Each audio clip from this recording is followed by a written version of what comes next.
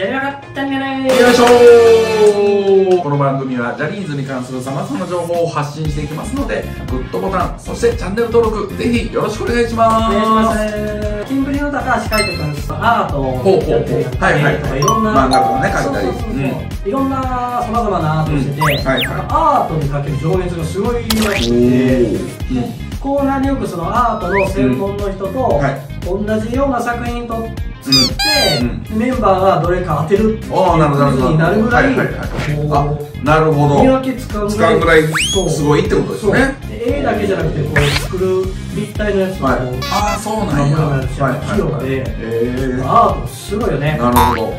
高橋海人君のアート作品っていうのは本当に魅力的で、あで情熱もすごいからなその本当の収録の時間よりも、はい2時間3時間早く来てもうずっとそやらせてくださいっつって。ー好きなんだやっぱりね。そう。それほどやっぱ情熱がすごいっていうね。なるほどなるほど。そう考えると、うん。高橋海人君のダンスも、ん。高橋海人君のん。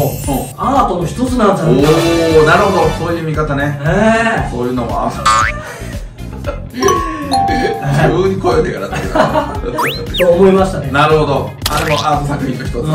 まあそういうやっぱフォルムとか絵はこっちの方がいいとかあやっぱそこのセンスとかもあるでしょうしうん。あるんでしょうね。ねえやっぱ子供の頃からね、4歳5歳の頃からずっとやってるっていうだけあって、やっぱアート作品の一つに見えちゃいますね。なるほどね。これからも高橋海人のアート。アートからうん。目があ離せません。うまい。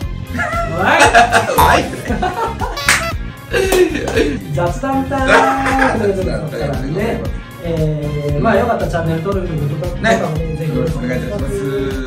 まあ、我々二人もね、アート絵とかね、好きじゃないですか？うんアートとかやったりね。いろいろやったりね書いたりしますからね。ね最近僕このペンタブを使い出してペンタブね。でやりだしたんですごくた楽しいっすよやっぱり。ああ、いいですね。まだ鉛筆でそれ書く方がら楽というかはい慣れてるんで細かいところ書けるけどはいはいはいはい。ペンタブもやりだしたらそうっすね。るんでね。幅が広がります広がりますね。うん。まあ色塗るとかもめちゃくちゃ簡簡単って言ったらあれやけど。簡単やしね、うん。全然やっぱちゃんね、もう編集ソフト編集ソフトマニアじゃないけどおお5種類ぐらい編集ソフト入っちゃって 何のもう何をやってんの？何やろその作品生むよりも編集ソフトであ遊ぶ方が楽しくなってきちゃって。いややっぱりいろすごい時代というかねなんかねいろんなことできるじゃないですか。うん。だから楽しいですよね。そう。なんかもういろんなことできすぎて、ん。なんかね、うん。時間もあっという間に過ぎ確かに確かに。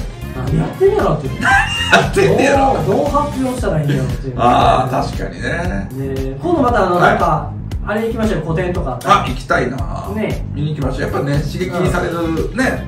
そうそうそう。いいね。僕のあの友達で、はいはい。アート芸人やってるあ岸本真由ちゃんあとか、ね、前連れてもらいましたもんね。ね、うん。行ってすごいあの賞とかもね取ってて。取ってすごいっすよね。外国も呼ばれていったりとかして、うん。まあ、すごいもう作品もどんどんね紹介されて、よかったのでやっぱりね。よかった。いやよかったですね。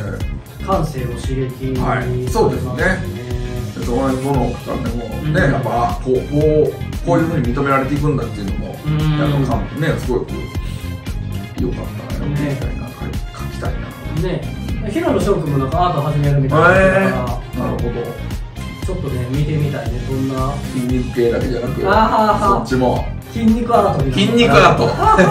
海外で日本人でフランス住んでる人ではい。ボクシングでパンチしながら絵描くみたいな人もいててあるねそういうのね。そっち系の 筋肉アートで。筋肉アートもやってほしいかなでも認められそうやな。確かになんかすごい作品はい作りたいね平野えー、漫画とかもね高橋君。うん。書くし。確かにいろんな幅が皆さんね。いやすごいな。もうねちょっといろいろ追いかけていきましょうよ